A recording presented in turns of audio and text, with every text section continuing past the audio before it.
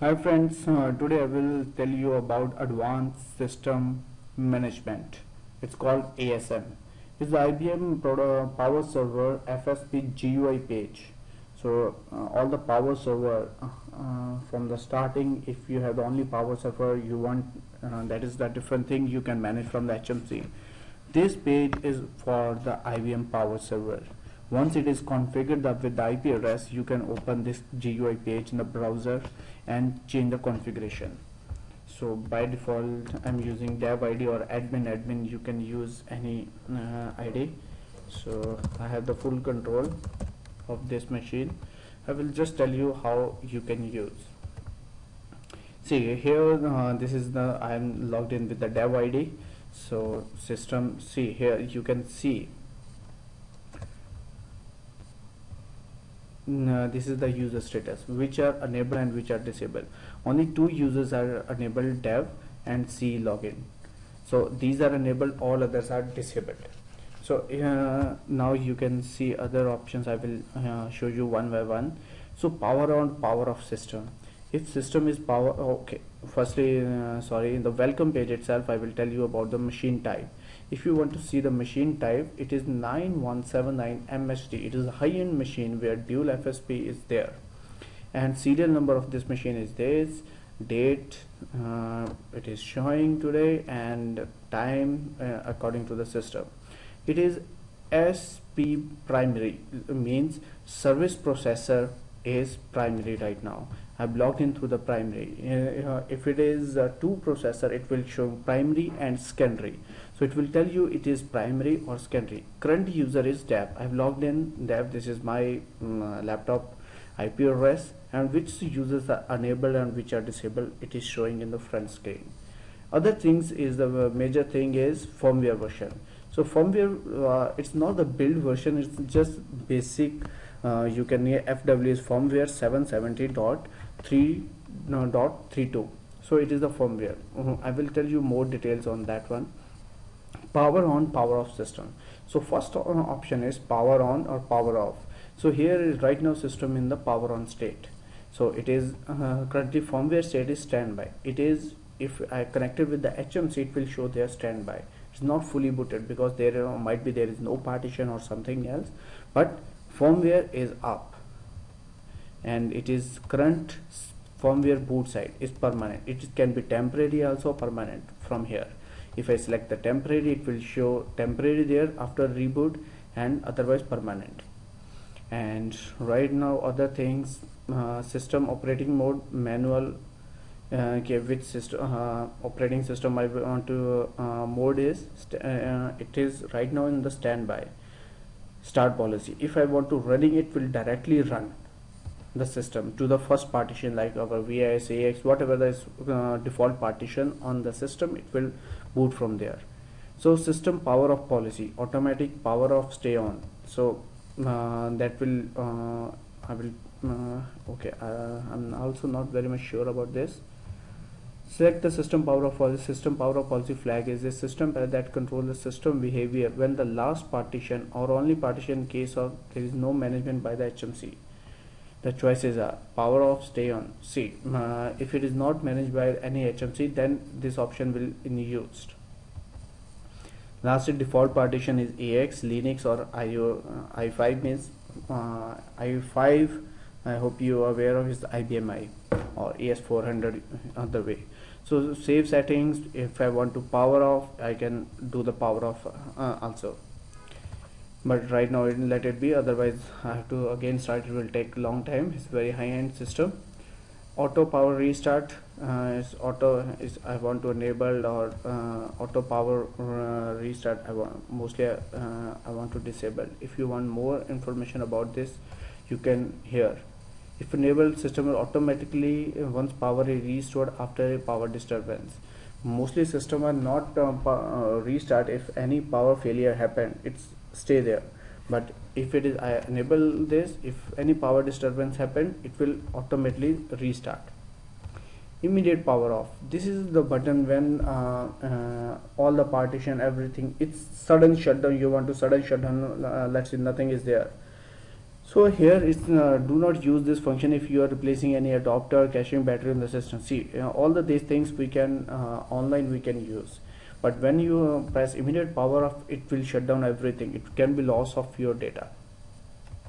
System reboot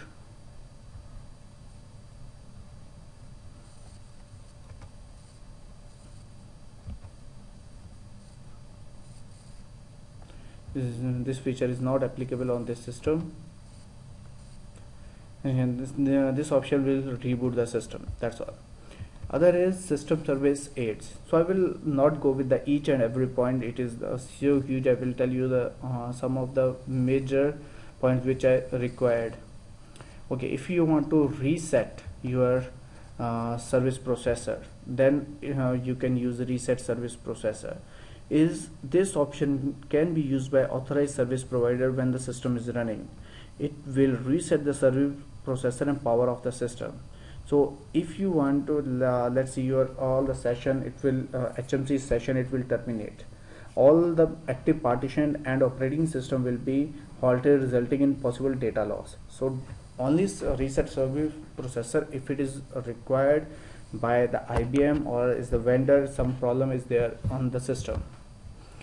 Second is uh, good option is uh, factory configuration. This is only work when it is the power off. Factory default is uh, system is you are in use and after some time uh, you are planning to do something else on the system and uh, it is not managed by the HMC and you want to install the IBM integrated virtualization manager then you have to move into the factory default settings. Then it will only come the uh, um, this uh, this option will in use. Next is service processor command line. Here command line is you want to check the um, firmware uh, firmware also. All the command line commands you can uh, use here. cupdcmd hyphen f.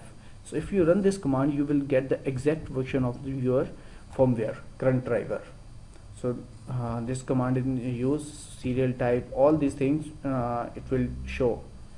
Okay it is the current boot side is p means permanent. Okay next is logs. Ah, yeah this is very good uh, option or it is very uh, we should use see here recent log power cooling subsystem unrecoverable error power supply so somewhere it is resetted on 15th and it is giving the error. So see here so many errors are there on this system. If you want to select all and delete if you want to see again uh, then you will clear all the logs log entries. So what it will do it will now the new logs whatever is generated it will come here uh, we are not sure system is still giving the problem or it is the older. So now again if you get the logs it means system is still has a problem. See now this is not applicable informational event. It is only the information. So not much. If you want to more on that one show details. So it will give you the complete detail about the log what uh, why this is. But only experts can uh, understand the logs. System information I didn't work much on this but definitely network services and system configuration. In the system configuration one of the uh, option which I mostly use is hardware management console. If I have the multiple HMCs I don't know which is in use. So this is temporarily disconnected. See here this HMC so what I will do is select and remove connection. So this connection gone and now only this HMC is connected. If you have the multiple power server and multiple HMCs from here you can check. So now this is my HMC where it is connected.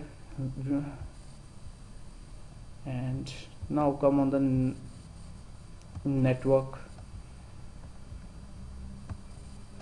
network configuration. So this is the key area where you can work. See it is the primary service processor IPv4 or you want to set IPv6 if I continue IPv4 it is ETH0 or ETH1 two uh, you know, ports are there.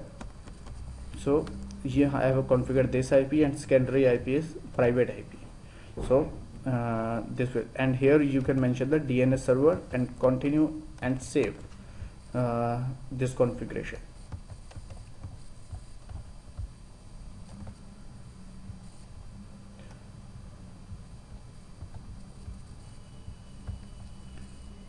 if it is not because I'm not changing any configuration you can see IPv6 also. So primary if you want to use any IPv6 interface you have to just add the IPv6 address into the system. So you can like ETH1 you want to configure IPv6 or ETH0 you have to configure this is your MAC address you can configure here. So and a few other things I will show login profile or change password. So here you can if uh, you have the admin HMC ID how it will connect you can change the password from here. Right it is the ID of the dev then only you can change new password for user new password for uh, if you want to uh, create the new password for HMC or admin I think from my side is uh, over. So this option I've been using my routine work and might be it will help you uh, in your work. Thanks a lot friends. Thank you